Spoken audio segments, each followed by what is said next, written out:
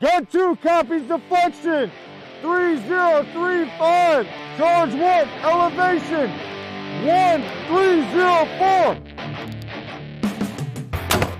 I'm the 0341 section leader, so what I do is one, if anybody wants to do any 0341 Mortarman related training, as well as 03XX in general, they will get in contact with TRT. Specifically, they come to me if they want to learn 0341 trade skills. Hanging up two. So what we did here today is we had a 60 millimeter mortar range. We came out to range 134. This was all internal, internal training for us to reach that sustainment interval. Every six months, we need to shoot a certain amount of rounds out of our cans to keep up.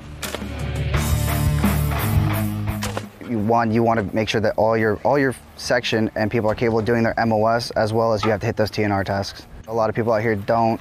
They go to MCT for a month. They come out here and they do their actual MOS. I think it's important that they get that knowledge straight from people who do it every day and they know their stuff and they get that hands-on.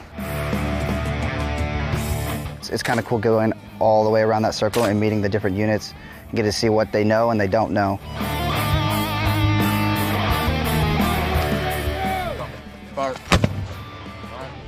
Good.